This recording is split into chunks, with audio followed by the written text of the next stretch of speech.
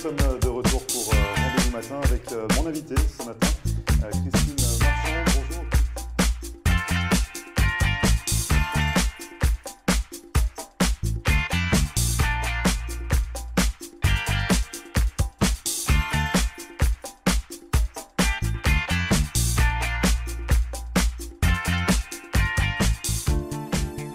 Bonjour à tous et merci euh, de nous retrouver comme chaque matin pour euh, Rendez-vous Matin, votre émission quotidienne qui donne la parole à ceux qui font l'actualité. Et au programme de ce jeudi 4 mai, nous allons parler euh, culture avec une exposition multidisciplinaire cofondée par Nadia Desjardins à Miami.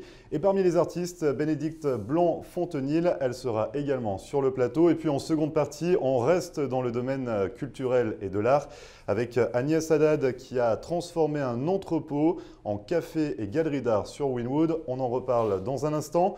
Juste avant la météo avec euh, quelques éclaircies pour aujourd'hui. Malgré quelques nuages, il n'y aura pas de pluie. Côté Mercure, il fait actuellement 27 degrés sur Hollywood, 80 degrés Fahrenheit et on attend 29 au meilleur de la journée, 85 degrés Fahrenheit. Ne bougez pas, rendez-vous matin revient juste après ça.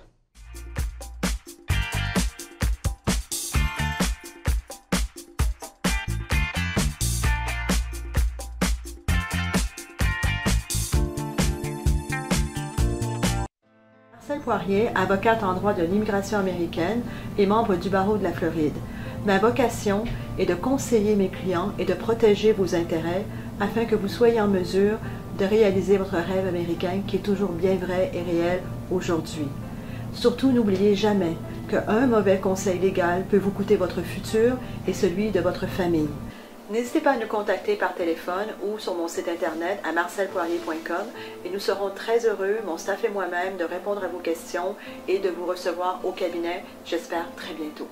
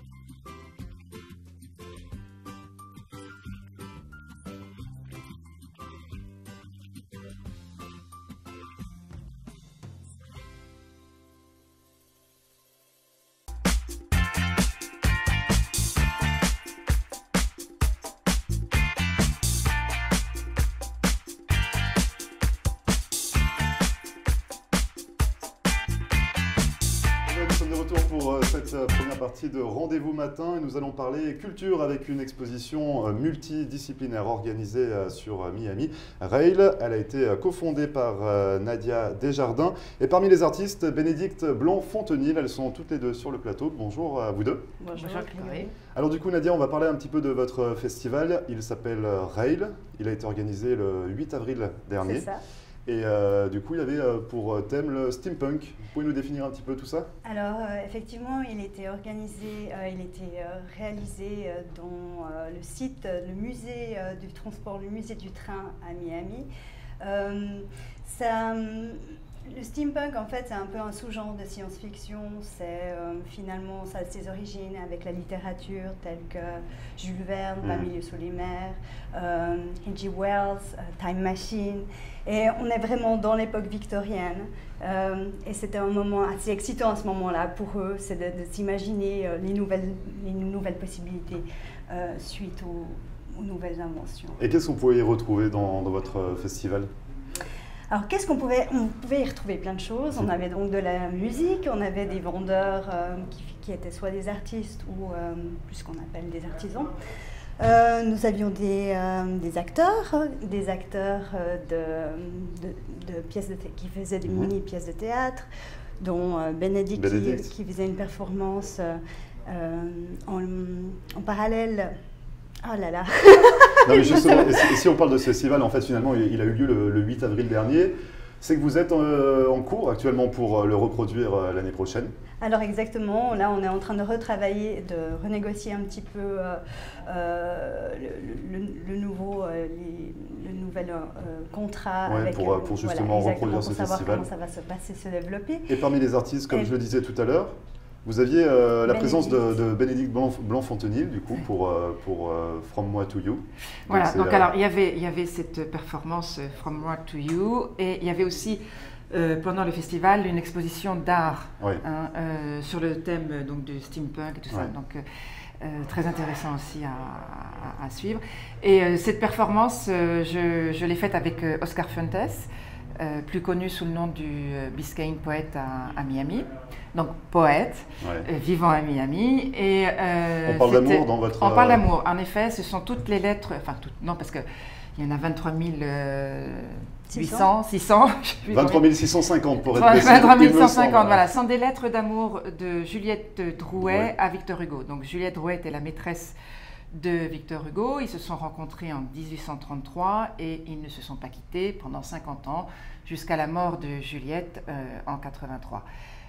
50 euh, ans d'amour, mais d'amour euh, difficile, beaucoup de passion, beaucoup de souffrance, beaucoup de jalousie, parce que Victor Hugo était un homme extrêmement possessif, extrêmement possessif et jaloux. Mm. Et euh, donc je lis une dizaine de lettres de Juliette et Oscar me répond avec ses poèmes à lui en anglais. Donc c'est très important parce que c'est un, une performance bilingue, français donc vous, finalement, vous lisez les lettres d'amour euh, de Juliette Drouet. Oui. Et Oscar Fuentes vous répond avec euh, ses propres poèmes. Il n'y a pas d'écriture pour, euh, pour, pour, cette performance. Absolument. C'est-à-dire qu'il va, il improvise un petit peu à chaque fois en fonction de, de, de l'émotion que j'arrive à faire passer à travers une lettre, donc ça peut être la jalousie, la passion, l'ennui. Lui, il va répondre en fonction de ce qu'il ressent, parce que finalement, il ne comprend pas le, français. Non, il ne parle pas français. Quelques mots, mais il ne comprend pas le français. non, euh, il ne comprend pas. C'est-à-dire que, bon, il est, il est d'origine latine, donc euh, il y, a, y, a, les mêmes racines de mots, mais c'est surtout l'émotion qui transmettre voilà, cette émotion, et en fonction de ce qu'il ressent, il va répondre par rapport au sentiment qu'il veut transmettre également dans ses poèmes, c'est ça Mais c'est un régal, parce que ces lettres sont, sont, magnifiques, c'est de la littérature pure, et... Euh, elle a, fait un travail extraordinaire. En plus, ça nous permet d'aborder Victor Hugo sous un autre, autre aspect. Euh. C'est même très intéressant en fait d'avoir le retour des gens qui, euh, qui, ont assisté à la performance euh, à, Rail, notamment des gens qui ne sont pas bilingues mais qui simplement parlaient l'anglais et, qui ont été impressionnés par les intentions, la performance de, de Bénédicte, carrément bluffés en fait. Euh, donc là, c'est intéressant de voir qu'au final, on n'a pas besoin de comprendre euh, la langue française, c'est juste dans les intentions.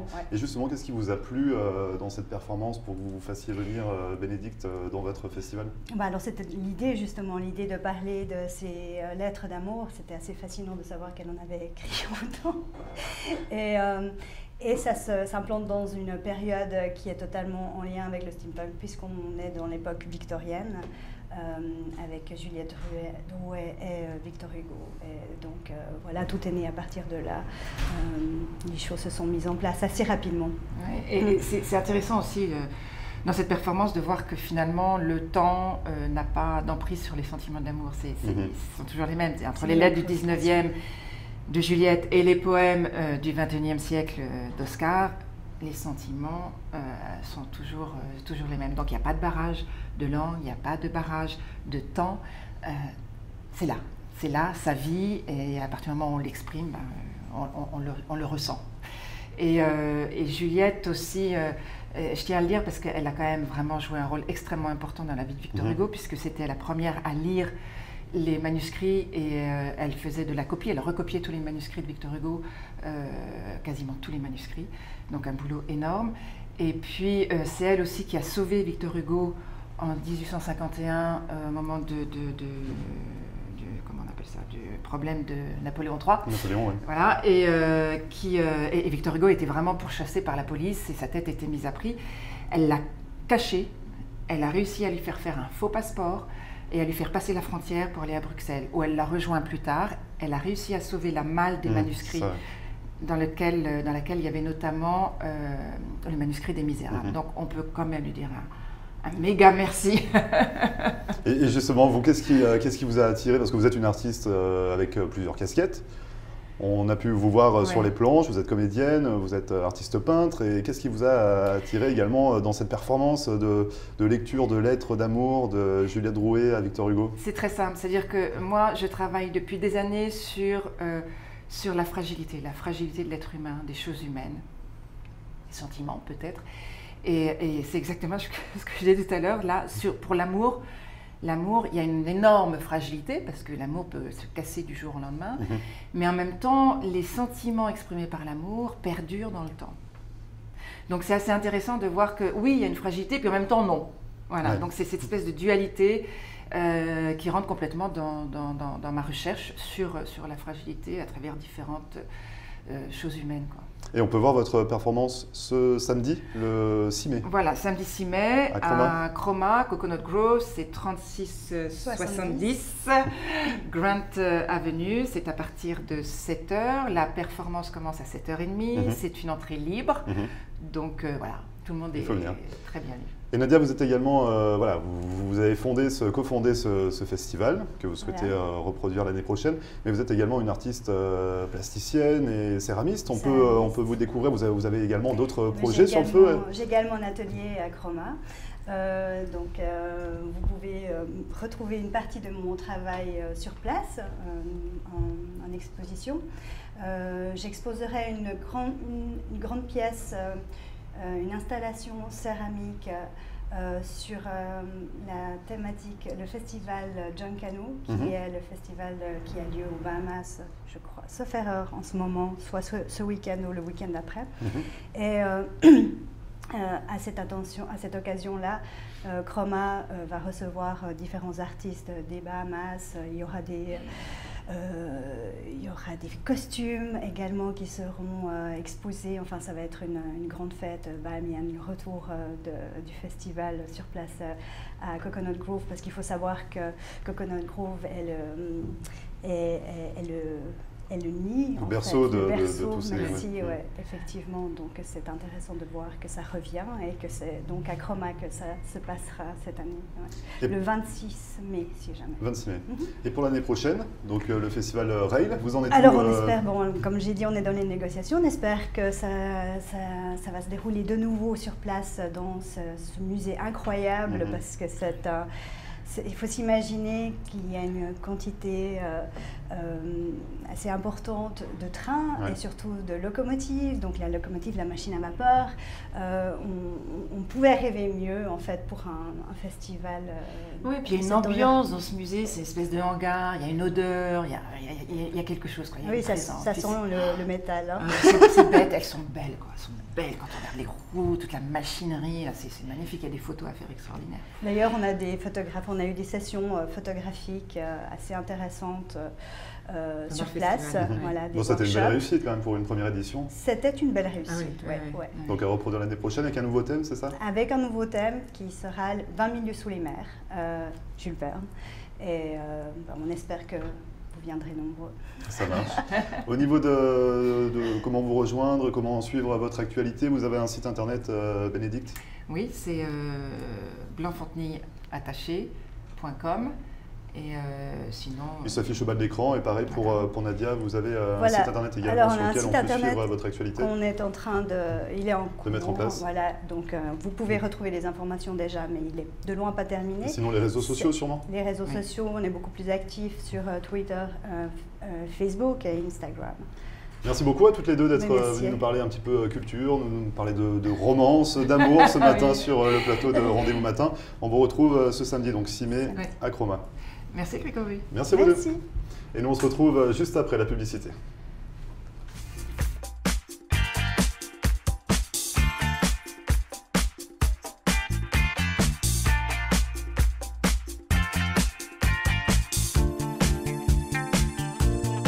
Le lycée franco-américain de Cooper City organise ses camps d'été à partir du 12 juin jusqu'au 4 août.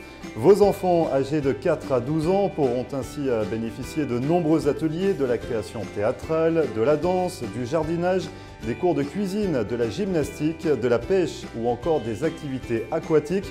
Ces camps offrent également des cours intensifs en français, espagnol et anglais, permettant à vos enfants d'acquérir ou de perfectionner ces langues tout en s'amusant. Pour plus d'informations et pour toute souscription, contactez le lycée franco-américain de Cooper City par téléphone au 954 237 0356 ou sur internet www.lycéefrancoam.org.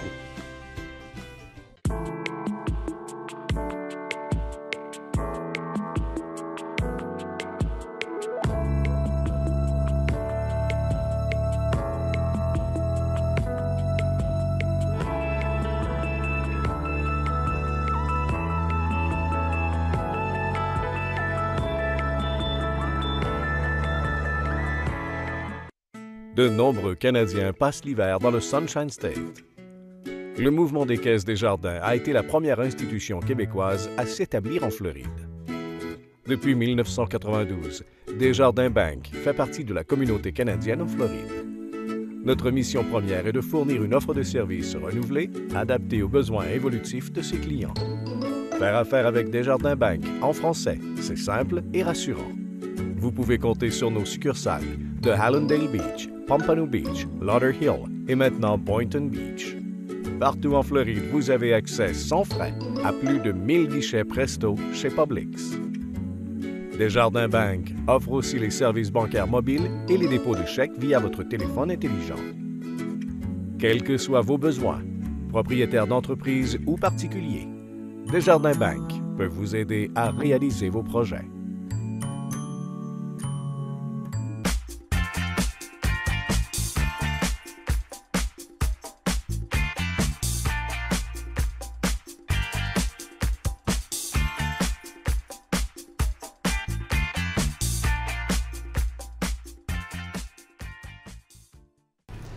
Et voilà, nous sommes de retour pour euh, cette euh, seconde partie de Rendez-vous matin. Et tout de suite, nous allons parler art et détente avec euh, Agnès Haddad. Bonjour Agnès. Bonjour Grégory. Alors du coup, vous avez transformé un entrepôt dans Winwood, vous l'avez relooké pour... Nous avons relooké avec deux associés, Steve Gabizon et Danilo Gonzalez. Nous avons pris, nous avons dessiné avec, une, avec un architecte, nous avons redessiné l'intérieur pour garder le côté galerie et de faire de l'autre côté un grand bar lunch et un petit restaurant où, euh, vous pouvez venir prendre, manger des salades, des sandwichs et de la nourriture mexicaine, des tacos, des gyros et des quesadillas. Alors du coup, votre, euh, votre établissement est situé à Winwood, donc on va parler un petit peu euh, de la galerie d'art tout d'abord.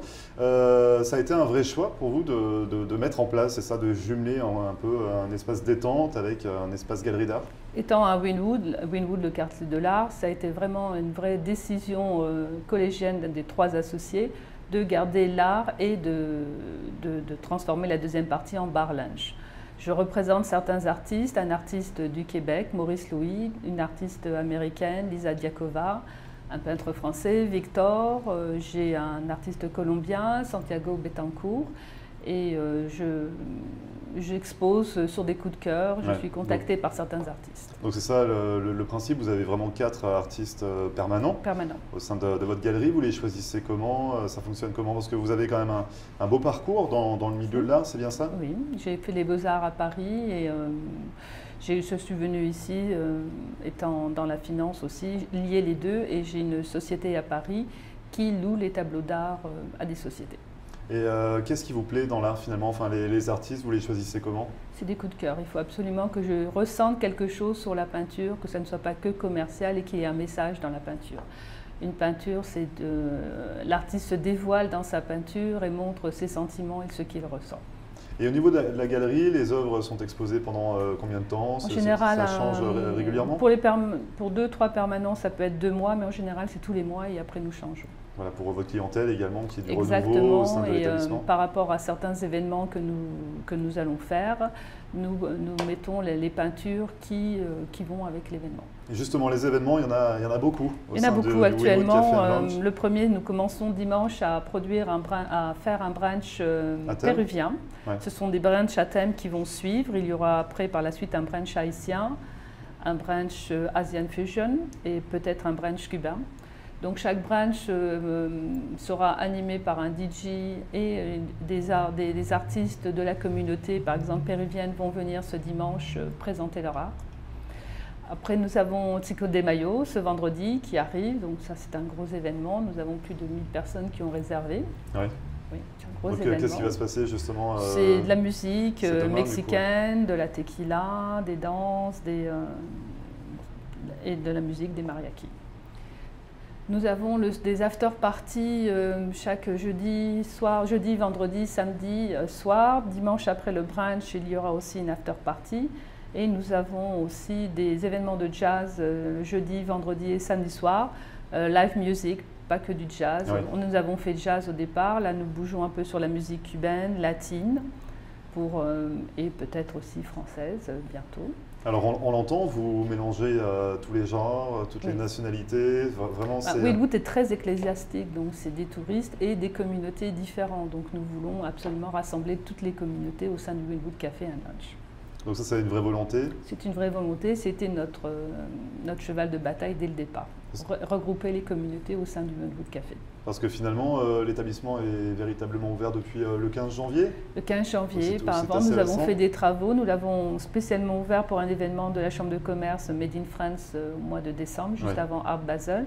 Il a été fermé juste après pour finir les travaux. Et cet événement s'est très très bien passé. Nous avons eu plus de 600 personnes qui ont passé visiter là. Et, ça se passe comment Comment vous arrivez à marier l'art à l'espace détente Que finalement il y a une symbiose entre les deux? Comment ça se passe pour vous? C'est, bah, je pense qu'il est plus agréable de venir boire un café ou de venir prendre un, lunch ou un petit dîner le soir dans un cadre euh, agréable avec des peintures, avec euh, des artistes où vous pouvez ressentir ce qu'ils expriment dans leurs tableaux que, que de boire un café en face de la mer. Donc euh, voilà, véritablement, parce que c'est ce qu'on aurait tendance à faire ici euh, dans le sud de la Floride.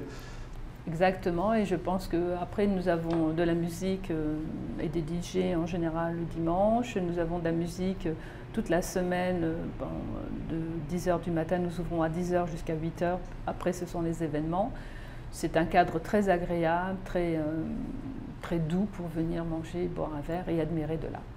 Et par rapport à votre clientèle, finalement, c'est pour leur montrer également un petit peu de les cultures qu'il existe Exactement. Aux on va dire la clientèle est 50% touriste, 50% local. Et euh, lorsqu'ils voient des artistes, euh, j'avoue que souvent les Américains viennent plus facilement me demander euh, des renseignements sur l'artiste, sur la vie de qu'est-ce qu'il a voulu représenter dans ses peintures, que le, les touristes qui aiment beaucoup, mais qui achètent directement sans connaître la vie de l'artiste.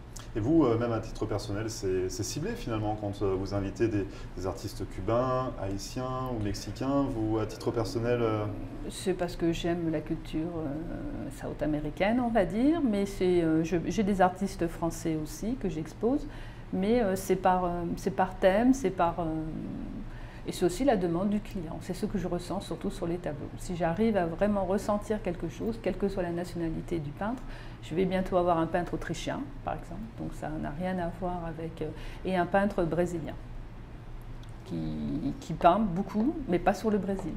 Oui.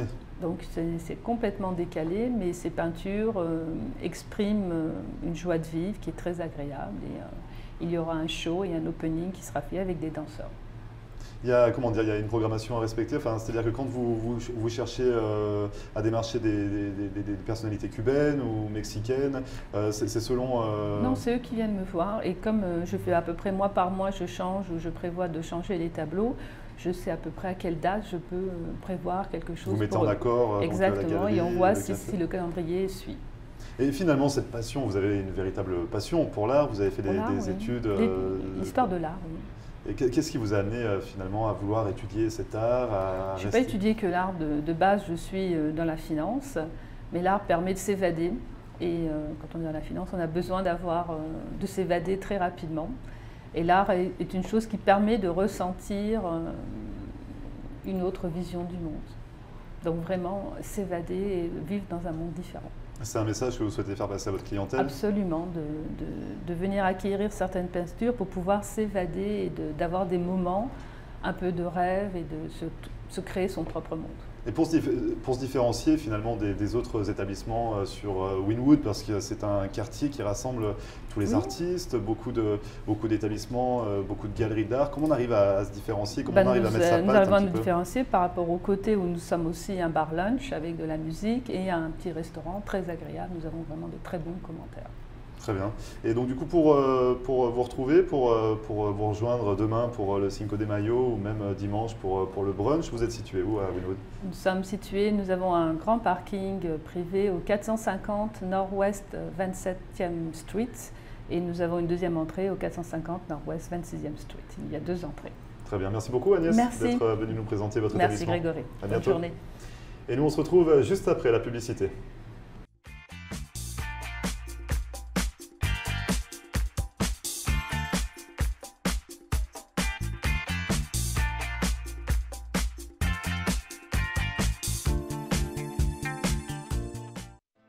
Marcel Poirier, avocate en droit de l'immigration américaine et membre du barreau de la Floride. Ma vocation est de conseiller mes clients et de protéger vos intérêts afin que vous soyez en mesure de réaliser votre rêve américain qui est toujours bien vrai et réel aujourd'hui.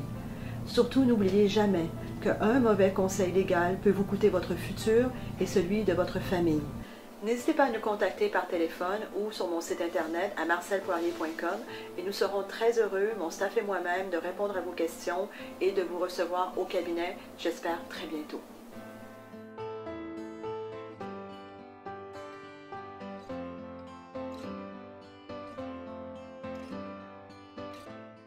Le mouvement des caisses des jardins a été la première institution québécoise à s'établir en Floride, et ce, dès 1992 vous pouvez compter sur nos quatre succursales et vous avez accès sans frais à plus de 1000 guichets presto.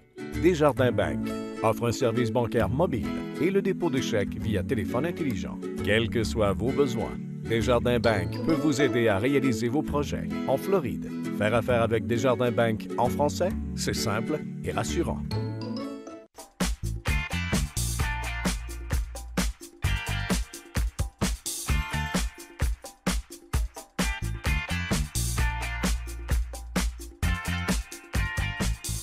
Merci à tous d'avoir euh, suivi Rendez-vous matin. C'est fini pour aujourd'hui. Une émission que vous pouvez retrouver en podcast, comme à chaque fois, sur euh, floride.tv, notre page Facebook, ou en rediffusion cet après-midi, 3h, ce soir, 7h30, ou cette nuit à 1h le matin. Et puis, si vous nous regardez toujours sur le canal 44.2, n'hésitez pas à basculer sur le 11.3. Euh, d'ici quelques jours, voire semaines, nous allons déménager sur ce nouveau canal. Donc refaites un scan de votre téléviseur si vous ne nous trouvez pas sur le canal 11.3. En attendant, je vous souhaite une excellente journée et on se retrouve demain pour une nouvelle émission dès 9h. Très bonne journée.